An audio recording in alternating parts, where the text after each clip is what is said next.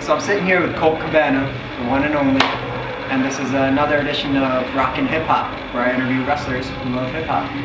So how you been, man? You got quite a big shout out this last week. Yeah, that was wild, huh? I mean, uh, I guess we're talking about hip hop and giant stages. I, I guess wrestling is a different kind of stage, but uh, R-Truth does some hip hop, so it's, it's it, it mingles itself in. And Yeah. yeah, Punk shouted me out. One of the, probably the biggest, uh, one of the biggest promos in the world of professional wrestling. That's kind of cool, you know. I always have that asterisk. Yeah. No matter what happens to me or what you know, my legacy or lack thereof. Uh. I got that, I guess. yeah. For sure. So I hear you're a big hip hop fan. What attracts you towards the culture? Um, so I'll say this: like, I, I, I there's many things I'm passionate about that I Yeah. love, and I, and I'm very passionate about wrestling and comedy. I'm not one of the super uber music dudes. Yeah. But my music that I like is hip hop. Yeah. And uh, that's what I collected as you know as a kid, and that's whenever I find myself in a new town because I travel all over. That's the radio station that I go to. You know, I find I find the beats. I find hip hop, R and B, and rap. And uh, I I don't know. I grew up in a, in a very white suburban neighborhood, and um, in Chicago called Deerfield. You know, predominantly Jewish, and. Uh, a lot of preppies and a lot of yuppies and uh, me and I had a core group of friends Yeah. and um, we were kind of a little bit the misfits or the outcasts and uh, and that's kind of what we were drawn to I, I feel almost Rebellious. yeah or I don't want to say thug nature of it all but Yeah. yeah, a little bit outlandish. and uh, yeah and that's I don't know I there's something about just the beats and the hooks that just that just gets me into it that I really like what was the first rap CD you bought? Oh man, I uh, I have Naughty by Nature. I remember that. Yeah. That was uh, uh, OPP. Yeah, yeah. I, I believe it was like a single cassette. You know, I also have uh, uh, Neneh Cherry, Buffalo Stance. Do you remember that? Man. I had that as a single. Buffalo Stance, Neneh Cherry, Arrested Development. You know, uh, Tennessee. Old school. Uh, yeah, I mean, that's when I, I mean I'm Yeah. 31 years old now. Not that I'm some old man, but No. that's what was going on around my time. 30s to new 20. Yeah, thanks. 30's the new 10. Uh, uh, but those are some of the real early ones I remember having. Yeah. Um, what do you use these days for your music? Like, are you an iPod man, iPhone, Zune? So I, I had I had like a big I had this little shitty MP3 player forever. Yeah. And then eventually I got an iPod, and uh, just recently I got an iPhone. So I'm using my iPhone as Yeah. my MP3 player, and that's. Uh, but and I do have an iPad too, man. I'm, I'm, I'm kind of hooked up. But when I listen to music, what I'll do is uh, I don't really own so much anymore, but I'll throw on Pandora. Yeah. Yeah, and I'll put on like uh, usually like R. Kelly or Kanye uh, or Common. Usually those are my three. Yeah. From Chicago. Yeah, of course, Common's Chicago, and so's Kanye. Yeah. And so's R. Kelly. Yeah. It's, All uh, I represent Chicago well, and uh, so th- that those are my stations. I'll put on my Pandora for the most part. Are you big into Lupe too? I like Lupe, sure. Yeah. Um, and it- when you talk about Chicago, like I grew up when my when, and again I'm not this die-hard uh, you know music fan. Bless you. Sorry, thank you. um, but when I grew up, we used to go to uh, buy the mixtapes of the underground guys like Crucial Conflict, Do or Die, Tung Twista, Yeah. who eventually became Twista, and these were before these guys blew up in Chicago. Me and my buddies were listening to them, supporting them, and um, I have a funny story of. Uh, uh, Do or Die, I went to watch wrestling when I was 17 at the United Center. And my buddy was like, holy shit, I think that's Do or Die. And they were just walking around as fans.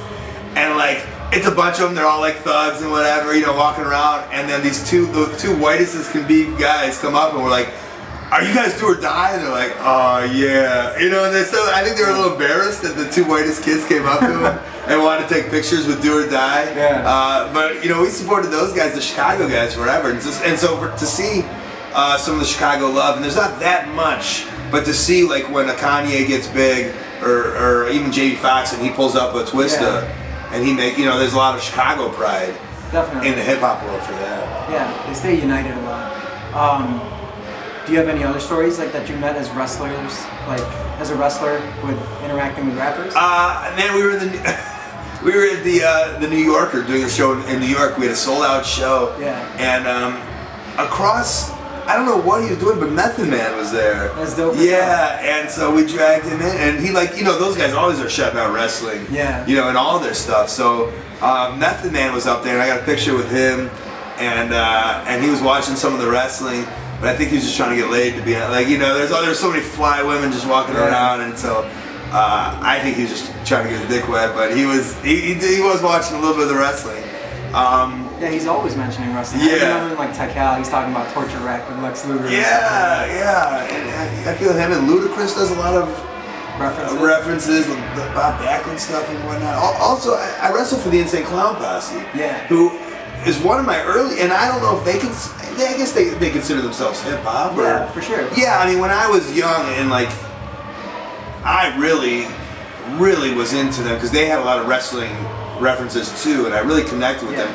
So I'm wrestling now for the Insane Clown Posse, and uh, you know I'm like in their crew, which is bizarre because when I was in high school, like I thought they were amazing, and I and I have stories of I, I used to go to Sam Goody. My buddy worked at Sam Goody, Yeah. and you'd give him uh, twenty bucks. Uh, no, wait, you give him five bucks, and he'd give you four uh, CDs. Yeah, that was his under, yeah, that was his underground thing. So I would go and I would get all the ICP uh, CDs, and that's how I would kind of keep up on it. Talk about like a surreal moment. And now I'm. They're my buddies. Yeah. Yeah, and I'm gathering the Juggalos this year. Uh, MC Hammer's playing. DJ uh, DJ Quik. Uh, Ice Cube. I mean, Mystikal. Like the lineup at the Jag- at the uh, gathering of the Juggalos is. If you're a 1990s hip hop fan, like Yeah. It blows blows your mind. So that's exciting. That you know, not only am I getting in for free to watch these guys in a three day festival, Yeah. I'm getting paid to watch these guys. yeah, yeah, it's awesome. If you had to make like a list, and I know it's tough to do at times, Yeah. but top five dead or alive rappers. Oh, I, again, like I, I know I'm not the. I, oh man, I don't. Tough. Yeah, but uh, I, I'm not so much a, a critic or a, you know, and Yeah. when that comes, I mean, I, don't know. Obviously, Tupac's amazing, amazing, right? Uh, and Biggie, um, and uh, I, I What about Kanye? yeah, I mean, I want to say Kanye, but I don't know if, if your fans will like. I don't know. I don't. I love Okay, I think he's amazing, of course. Seriously. Yeah, and I think Common's amazing too. Yeah. Um, but I mean, there's just so many to choose from. These are just the guys that I like, and uh, yeah, I mean, do I like the Sugar Hill Gang? I don't know. Do I say that? Because they, I mean, they- right? the camera guy saying yes. like they were awesome, but I, I don't know if it's if it's cliche or taboo to say these guys, but just guys that I enjoy listening Yeah. to. Yeah, yeah. Was there a particular album that like stands out in your mind that you like the most? Uh, oh man, this is one of my favorite. So uh, I don't know if this counts, but I loved uh, Body Count. Uh, you know, and I, it's kind of metal and kind of rap or hip hop, but body that Body Count album with, with obviously with Cop Killer, uh, but that whole album with Ice T. Yeah. Is fucking that was like that was my child like that was one of my favorite if not still I'll always put that in play it in and I know all the words even if I haven't heard it in five years I know every word to every fucking song That's yeah just when it hits you know like the song hits and it's like all of a sudden you, you hear yourself talking or you hear yourself singing the song just because of like your memory as a child I love that album Yeah, you associate it. with yeah. memories. It just comes. It just comes through. I don't. I don't even remember. I couldn't tell you any of the probably the titles now. But it, as it's playing, I know them all. It like comes right back. yeah. Yeah. Do you listen to like a particular song or anything to get you hyped up before matches or after or on the road? No. No. Yeah. I, I can't say I, I do. Um, yeah. I, I'm not. I, I was never one of those guys who listened to music to hype, help my, Yeah. help my, to make, let me hype myself up. I use, I, I use music to calm myself down.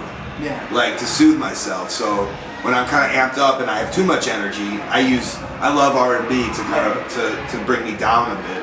Yeah, and I know it, it almost seems a little feminine coming from a, a big white guy like me, but uh, I don't know. It's just, there's something about R&B that just really relaxes me. Yeah. And um, if you were a rapper, what would your album be called? Oh man, I well this I maybe one live Jew. I don't know. Live Jew? Do you remember Two Live Jews? Of course. Yeah, so that's a huge album too, especially a kid like me. Yeah. When Two Live Jews put out that album, and I don't even know like the significance of it uh, in terms of like like now as a grown man, like I wonder what 30 year olds back then were thinking of that. That. But to a 13 year old kid who's Jewish, Yeah. that was amazing. It was mind blowing. So maybe I just be one live Jew, or That's two awesome. live two live juniors. Years, Juniors, junior, yeah. Jew. uh, Wordplay. Yeah, yeah. All right, and I gotta ask you this. sure. Go on.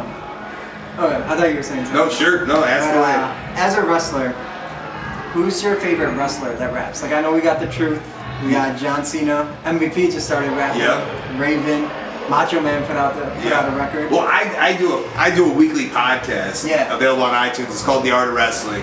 Uh, it's available on iTunes or We Love Colt. And I always have song of the week, yeah. and it's always some kind of song that has to do with wrestling. Awesome. Yeah. And so each week I have a song, and usually like I had uh, Pile Driver by Koko B. Ware, and I've had Macho Man, and uh, and usually it's something kind of to make you chuckle more than to be like this is amazing. music." Yeah. But I will say this.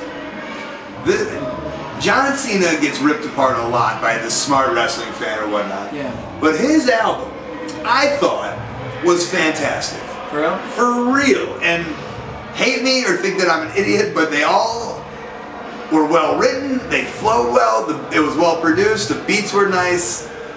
I thought, I mean, I didn't have any expectations for that. Yeah, and same. I, I thought it was not, it was good. Like the guy knows how to rap. Yeah.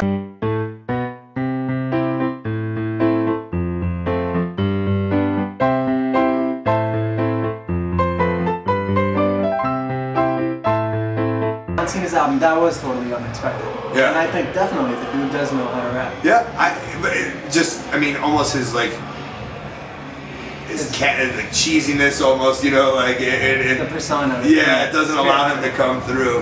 Yeah. Um, and then you gotta you gotta throw one to grab them cakes with Junkyard Dog. That like second place with Junkyard Dog and grab them cakes. That song was awesome. I haven't heard that one. Oh it man, please, amazing. Yeah. And uh, like, to not to change subjects too much, but tell me about Creative Has Nothing For You. I checked out the first two episodes and I really dig it. Oh, thank you. Yeah, It's a lot of potential. Yeah, I do a web series. It's my friend Marty DeRosa. Yeah. He's a stand-up comedian in Chicago. He's very funny. We do a web series called Creative Has Nothing For You. Uh, you can find it at creativehasnothingforyou.com or on YouTube. And basically, it's one-minute shorts Yeah. about uh, about the wrestler and wrestler-writer relationship, which is funny in itself that there's people that write for wrestling. um, and so uh, it's uh, one-minute shorts available every single Monday night. So what I encourage people is while you're watching Monday Night Raw, when there's a commercial, go to creativehasnothingforyou.com. Screw the commercials. Watch the watch the comic short with me and Marty DeRosa. Enjoy yourself, and then go right back to wrestling. And it's going to be on every Monday? Every New Monday. episode? Yep, new episode. Cool.